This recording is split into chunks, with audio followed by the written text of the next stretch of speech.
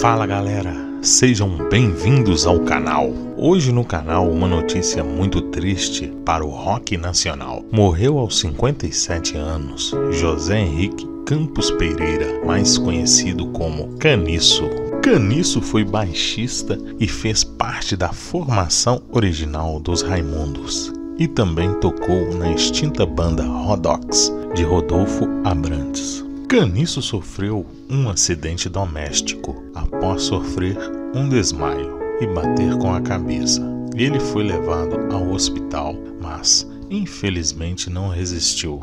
Com mais de 35 anos de carreira, Caniço gravou nove álbuns de estúdio com os Raimundos. Emplacou vários hits na década de 90, como Eu Quero Ver o Oco, música que ele criou o refrão, Mulher de Fases, a mais pedida e entre outras. Caniço ficou nos Raimundos até 2002, quando decidiu sair para tocar novamente com Rodolfo Abrantes, na extinta banda Rodox, aonde ficou até 2004. Após sua saída do Rodox, Caniço decidiu dar um tempo na música e em 2007 retornou aos Raimundos, ficando até nos dias atuais. É isso aí, galera o rock está mais triste, com a morte precoce do baixista do Raimundos, o Caniço. Como já dizia Renato Russo, os bons morrem jovens.